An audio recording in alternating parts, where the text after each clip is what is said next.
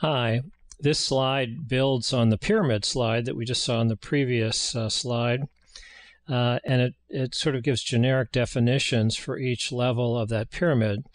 So the first level was what's the mission statement? And sometimes people will say, uh, I'm not in the railroad business. I'm in the, the the the transportation business. So you define your business in some irreplaceable function. The idea being that we'll always need to move stuff from point A to point B. So if it's railroads, it's trucks, it's containers, it's whatever, we're going to do whatever we have to to keep be, being in the moving the stuff business.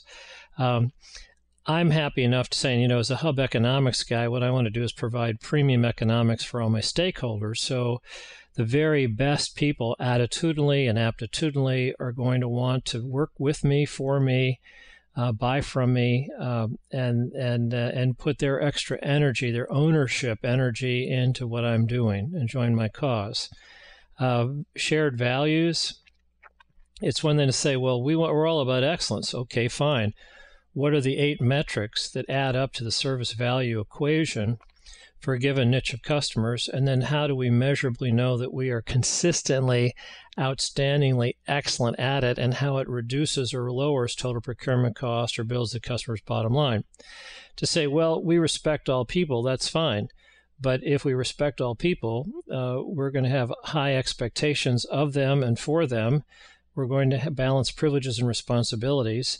Uh, and we're going to provide structural systems that say, you know, if you come be part of our organization, you will get premium economics, but that's because you will also be growing uh, with and for us. And you know, you'll either get promoted within, or you're building up equity in yourself that you can take and sell to the marketplace. So either way, your value is improving as a as a career person.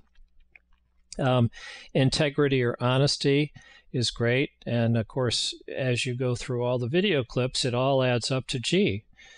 You know, we need to go open book so we can put everybody in the same boat, everybody on a delta PBIT gain sharing kind of bonus.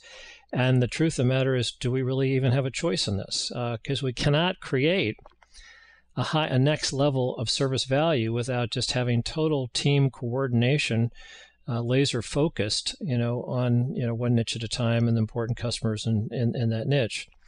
Um, as far as vision, you know, our vision generally is to sell, install the best total service value demand replenishment system. That's assuming you're in a mature market where 70, 80, 90% of the stuff you're selling is a repeat sell to an experienced repeat buyer who really is sooner or later saying, I want to buy the best total supply chain economic. So we have to provide that to them one customer and one niche at a time.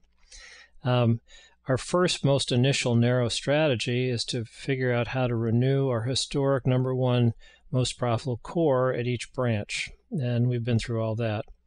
Uh, a strategy map and there actually are several, but one that I'll remind you of is an abbreviated form is the service profit chain, where if we get the right people, pay the most to get the most, expect the most, keep them long enough to train them and so forth so we can achieve basic service brilliance.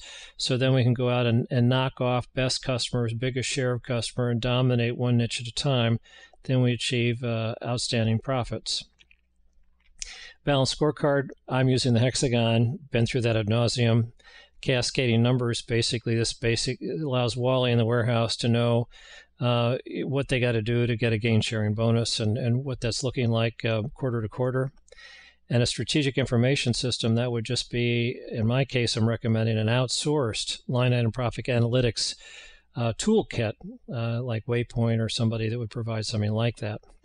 So those are that's another review of each one of those those phrases to try to give them more meaning and more meat and more concrete, under, you know, uh, heft behind them.